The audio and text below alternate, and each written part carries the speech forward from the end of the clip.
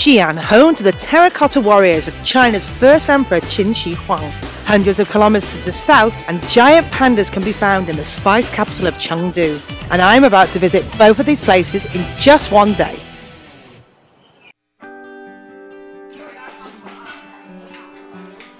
Mo could be called the oldest hamburger in the world. In fact, this bread has been in China since the Qing dynasty. Well, I hope not this one. It tastes a little bit fresher.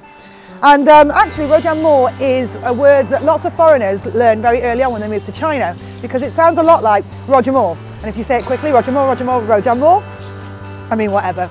By whatever name, it doesn't really matter. It tastes delicious.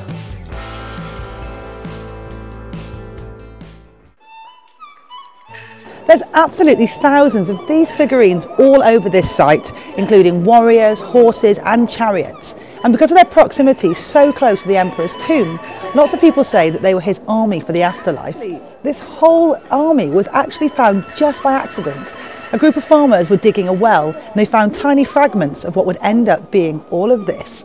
And now it's a UNESCO site and many people call it the eighth wonder of the world.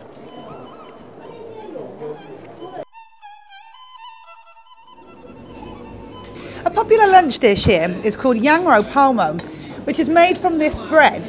One of the origin stories about where this came from was that there used to be an emperor who travelled across the country around the Song dynasty. And by the end of his journey, all he had left was two dry, stale loaves of bread. But he happened across a lamb soup store and he popped in and to really like bulk out his meal, he ripped up the bread and put it in the soup. And that's how Yangrou Paomo was born.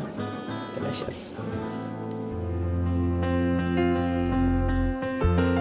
Stretching over 600 kilometres, this route runs through rugged but breathtaking terrain.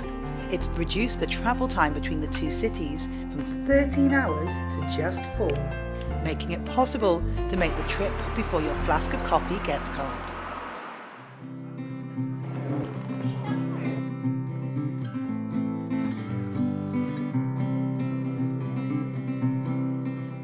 Panda centres like here in Chengdu means you can get really close and personal with these pandas.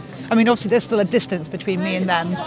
And there's around 500 of them in captivity and just under 2,000 that are out living in the wild. So the work that they do here at panda centres makes a real difference.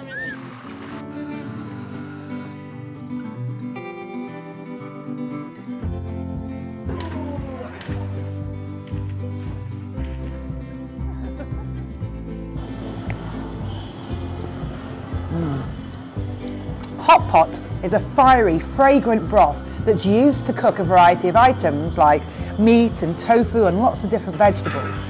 It's made from a base of oil and chili peppers and Szechuan peppercorns and lots of other spices. And for those people who break out into a sweat just at the sound of the uh, Scoville scale, there's also a mild, salty and a sour version too. And with that part of the journey over, let's get down to business.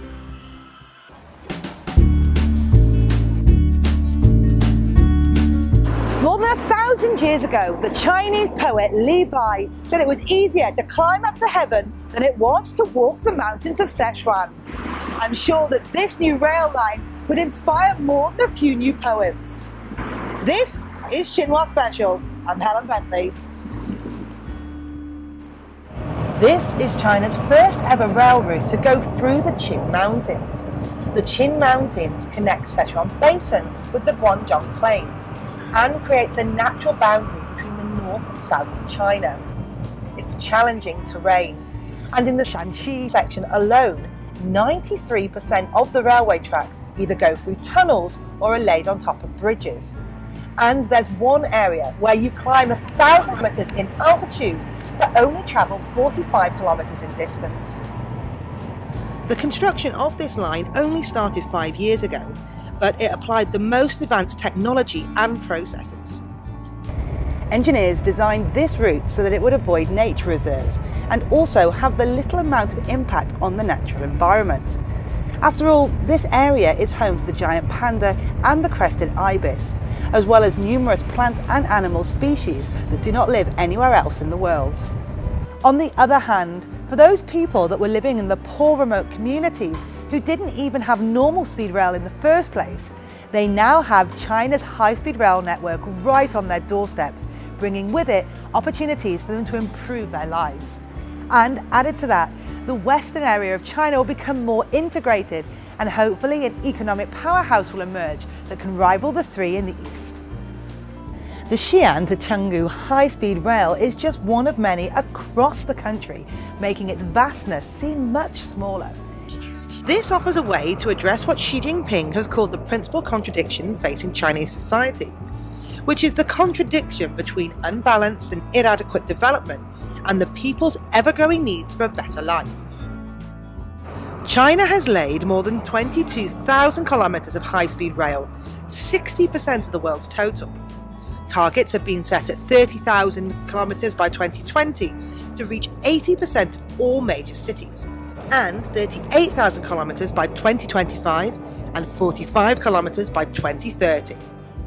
Hundreds of billions of dollars were spent on building the world's largest rail network, now these Chinese manufactured trains are being sold to over 100 countries and regions. Last year, these contracts topped $18 billion, a 40% increase from 2015.